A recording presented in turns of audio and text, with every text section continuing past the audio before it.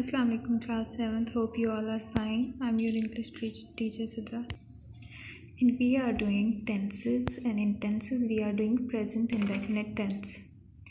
So we have done uh, affirmative and negative sentences of present indefinite and uh, how to make present indefinite tenses and what is the structure of affirmative or positive and negative sentences of present indefinite today we will do interrogative sentences. Interrogative sentences questions in which we are questions. जो um, question uh, वाले sentences हैं वो किस तरह बनाते हैं उनका क्या स्ट्रक्चर है हम वो सीखेंगे. So let's get started first of all first of all we look at the structure of interrogative sentences of present indefinite Present indefinite के interrogative का स्ट्रक्चर क्या होता है? उससे पहले आपको ये जानना ज़रूरी है कि कोई भी इंटेरोगेटिव क्वेश्चन का फार्मूला क्या होता है? फार्मूला ये होता है कि जो भी हेल्पिंग वर्ब होता है, उसको हम स्टार्ट में ले आते हैं, उसके बाद हम सब्जेक्ट को यूज़ करते हैं और उसके बाद हम कोई भी जो वर्ब होता है, वो हम यूज़ करते हैं। Helping verb plus subject plus verb and question mark. That's how we make any interrogative sentence. So what is the helping verb of present indefinite? We have two helping verbs in, in present indefinite. Do and does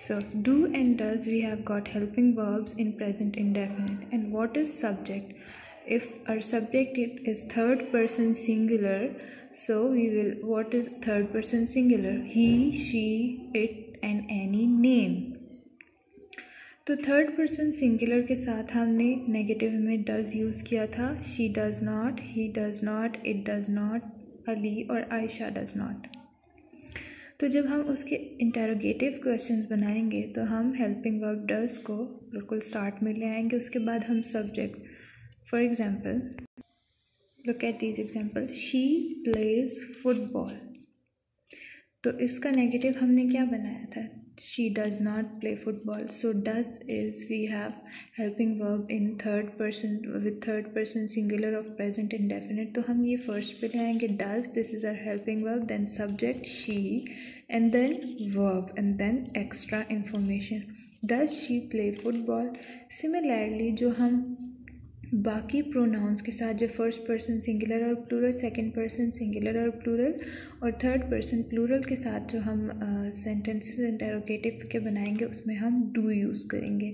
do helping verb है, इसको start में लाएँगे, फिर subject do you and फिर verb do you play football जिनके helping verbs हम start में ले आते हैं और उनके इंटेरोगेटिव बनाते हैं उन वो उन सेंटेंसेस का आंसर हमेशा येस या नो में होगा। डज शी प्ले फुटबॉल क्या वो फुटबॉल खेलती है?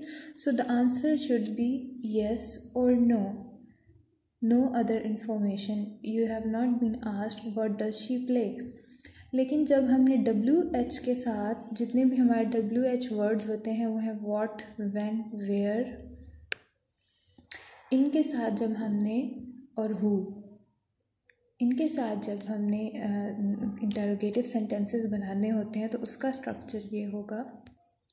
सबसे पहले हम वर्ड हेल्पिंग वर्ब सबसे पहले, फिर हेल्पिंग वर्ब चाहे डू है या डज है, फिर subject and then uh verb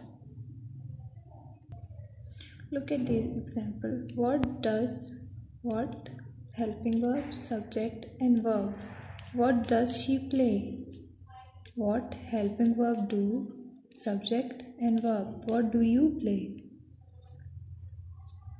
when do you come when helping verb subject and verb where does she go where is a wh word does helping verb subject and verb तो जो हमने बाकी कोई भी बात पूछनी होती है जैसे कि वॉट डज शी प्ले वो क्या खेलती है वट डू यू प्ले आप क्या खेलते हैं? वेन डू यू कम आप कब आते हैं? वेयर डज शी गो वो कहाँ जाती है? जिन क्वेश्चंस uh, का आंसर येस नो नहीं होता जिनके लिए हमने और इन्फॉर्मेशन पूछनी होती है उनके साथ हमेशा डब्ल्यू एच क्वेश्चन आते हैं। और डब्ल्यू एच क्वेश्चन के इंटेरोगेटिव प्रेजेंट इंडेफिनेट में किस तरह बनाते हैं मैंने अभी एक्सप्लेन किया। कि आपने हेल्पिंग वर्ब से पहले व्हाट वेयर व्हेन और हु यूज़ करना है और उसके बाद हेल्पिंग वर्ब होगा, फिर आपका सब्जेक्ट होगा और फिर verb so this is the structure of interrogative sentences of present indefinite one more thing that you are suppose to write this on your notebooks as well from chapter number twenty from chapter number 20 you are supposed to start writing from chapter number 20 chapter number 20 से आपको जितना भी काम कराया गया है, आपने वो अपनी नोटबुक्स पे भी लिखना है।